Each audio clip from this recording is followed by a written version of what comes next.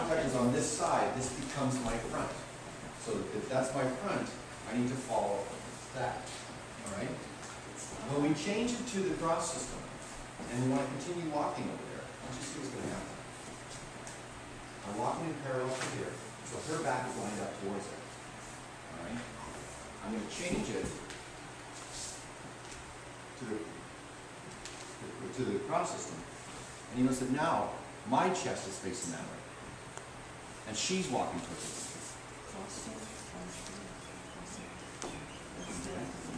So, This is the front. And that's where you so. I move at her, so I can send her backwards. Once I get onto this foot, I'm gonna change, and when I change, there's gonna be a slight twisting action here. So now I'm walking straight forward, And I'm the crooked one. she's the crooked. one. Okay? So trying to get that transition in there is gonna be really important. So for the man, again, he's gonna have an extra step, so he can go walk, walk, walk, and walk.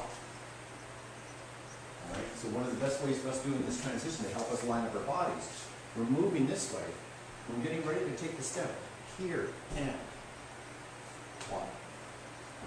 So I'm coming from this is my front to this is my front. I'm traveling. This is my front to my partner at all times. But I'm letting her walk backwards along the line, and then I'm gonna walk forward along the line. And I am still here in the same contact, and because I'm focused towards the, the broomstick, I'm walking, I know now I'm walking, I'm. So you notice, I'm walking with my left foot, and my toes facing the same direction as my chest. Now, let's go up here. As I take this step, by turning it to the front, I create the curve, change my feet, and I'm gonna. All right? We're gonna try that little thing. Now, one of the things that the ladies are going, the followers are gonna notice, when you're going backwards, if we do that turn here, you notice that I, it wasn't that I turned and walked forward. I kind of found the floor and then let my toe turn. And the same happens to us. All right, so what's gonna happen for the, for the followers, they're going backwards this way, and as it's turning, it's the heel starts to come off this direction. This is another reason why we get that feeling of the rounding. Just because your foot hit the floor here doesn't mean it's gonna land in that direction. The curve will allow to someplace That's just that And now you're ready process to go of to the cross. finding the floor and where you actually land is not the same direction. Okay?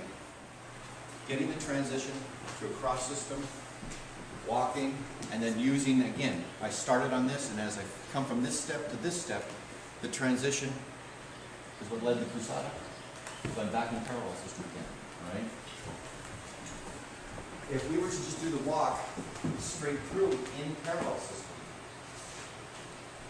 when I start, my partner's here, as I walk in parallel. So I'm moving at my partner. If I take the step or the turn my partner's there, as I come through, I need to still point this foot at my partner. So now it seems like I'm, I'm walking, all- it seems like I'm walking crooked on the other side. So I'm, in essence, kind of facing this angle. As I take this step, I'm now facing this angle, because that's where my partner is.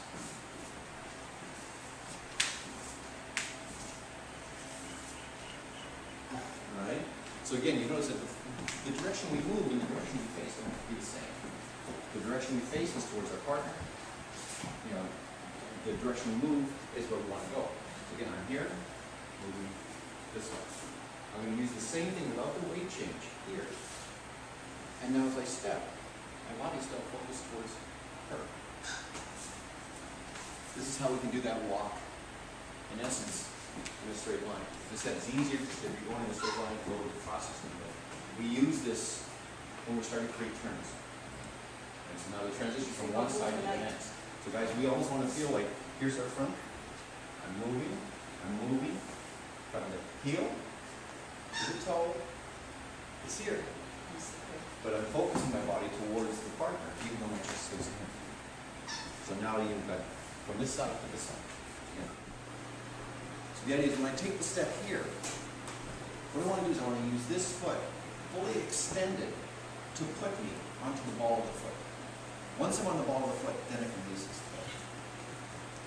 So take the step, and then the back foot places me over the balls of the feet. As I said, what ends up happening a lot of times, we miss that last little bit. We take that step, we get to the ball of the foot, and then we pick up the foot. Right? And this can happen. We start to lose the strength. Now, especially for the men, when we're going, when we're leading the ladies, I'm gonna try to exaggerate this a little bit. We're here. Now, at this point, Beatrix cannot possibly finish her step. And if I kind of stand up here, it's still, there's no way she can finish her step. Because he hasn't All right? found Hmm. So for me, one of the most important things for the men when we're leading the ladies, and when I take this step, use this foot to push me past my foot until I can feel her go. Now I can move into place. Use this foot to push me past her balance point so her leg starts to pass. Okay? This gives me the opportunity to finish the step forward. Finish the step forward. It puts me in the balls of my feet, puts her off the ball of her foot, ready to go to the next direction, gets her leg out of the way before I bring it in. So one of the things you can think about is one of the most common poses you should actually see in tango.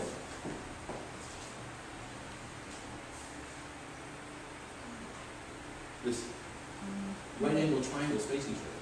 I take this step. Okay?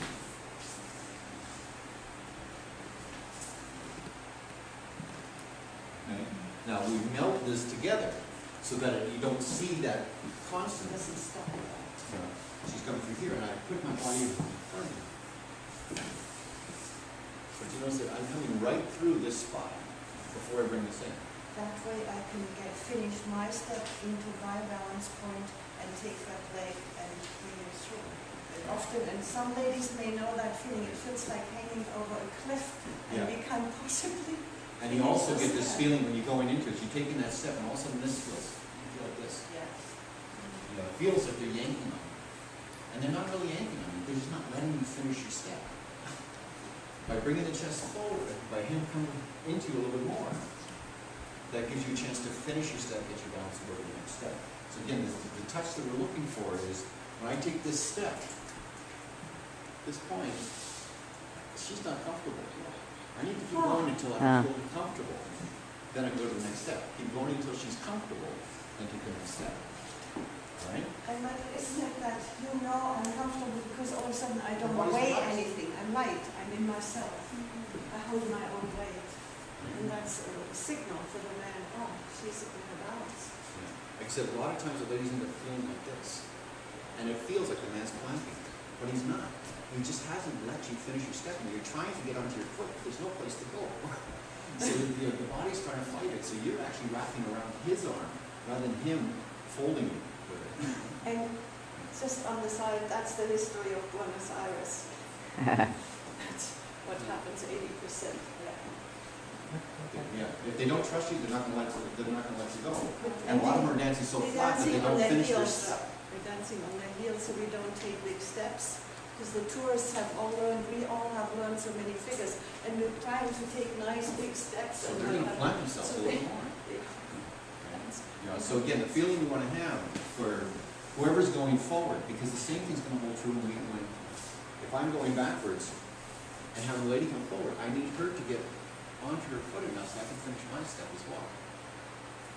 You When you're doing things like your approaches and an open embrace, we come through here. Right now, she's not on her foot. And if I start turning her, all right, and this happens quite a bit. When the ladies try to do it themselves, again, they hit this spot, and then as they're trying to turn around, they're throwing themselves the opposite direction to finish the step, This is why things start to feel unbalanced. But if we can let that happen, so she comes in here, and she extends the back leg till she's right on the ball of her foot. Now that she balances, we can do as much turn as we want, and it's not gonna make a difference. We get into here, as long as she's, her hips are over top of the balls of her feet, the turn is easy.